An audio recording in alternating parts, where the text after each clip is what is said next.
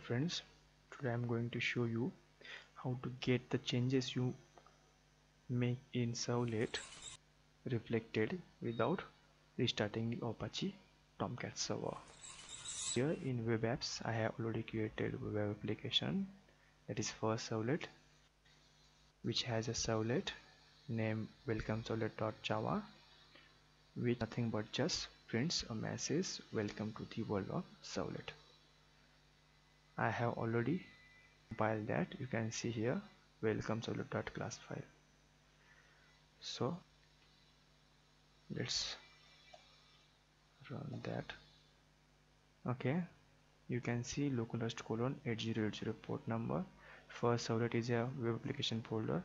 My welcome servlet is a url pattern which calls to appropriate servlet and you can see the welcome to the world of servlet message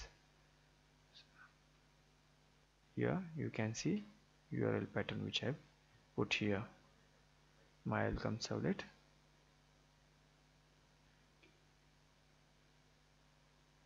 so now i'll make changes in my servlet code. I'll edit this message to welcome to the world now I made changes in servlet I have to compile it. I'll delete this dot class file so you can see the new dot file created. I use the same previous command to compile by pressing upward key in my keyboard. Enter. So here you can see a new welcome servlet dot class file is created with the new changes in it so I'll reload this. It is not going to reflect. So I don't have to restart the Apache Tomcat server. I just have to use manager role.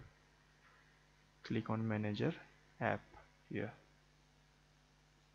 It asks for the username and password. Okay if you don't know the username and password or perhaps you haven't set the username password you can set it right now or you can also retrieve it. If it is already set go to the C drive. Program files apache tomcat. There is a conf folder that is configuration. In that tomcat hyphen users.xml double click on that open that. So here at the bottom you can see I have already set the username. In user tag you can see username as admin password my password for roles manager GUI if it is not there in your file I'll show you how to do that. Okay just copy this tag user tag and paste it outside this comment tag. This is comment tag okay outside this. Just paste it and change whatever you want to change it. I'll admin. I'll set it as a admin. Username as admin password. I'll set as a my password. And you must set role as a manager hyphen GUI you have to set as it is here you cannot change this one. Just set it as it is and you can set password anything you want and username anything you want. So close this one. So now you have made changes in tomcat user.xml for that purpose you have to start the restart the apache tomcat server you don't have to restart it every time just once because you made changes in this file.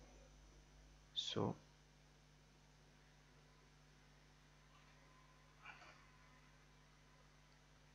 I'll log in using username which I have set admin and my password password login. So now you can see we have login. This is the my web application loaded by the container for servlet. So here we have four options. Start to start the web application. Stop to stop the web application. And reload to reload the web application. And undeploy. Never click on this undeploy because container will delete all the web application which are present in web app folder. So I'll reload this one. And reload my servlet. The changes got reflected you can see now I will again changes in servlet I'll make this as a welcome to the world of servlet so again we'll recompile this using same command. Now I don't have to restart the Apache Tomcat. I'll just reload this by clicking on this reload reload changes got reflected without restarting the Apache Tomcat server. So here if you make any changes in servlet you can reflect it by just reloading. And if you make changes in web.xml file here then you have to restart the Apache Tomcat server. Because when you start the Apache Tomcat server. That time an object is created. Named servlet context for each application. And the job of container is to load the web applications which are present in web app folder with their appropriate web.xml files. So if you make any changes in web.xml then you have to restart the apache tomcat server. If you make any changes in servlet then just reload it. But never click on this undeploy as it deletes the web applications present in the web folder permanently. Thank you for watching my video. Please like share and subscribe for more videos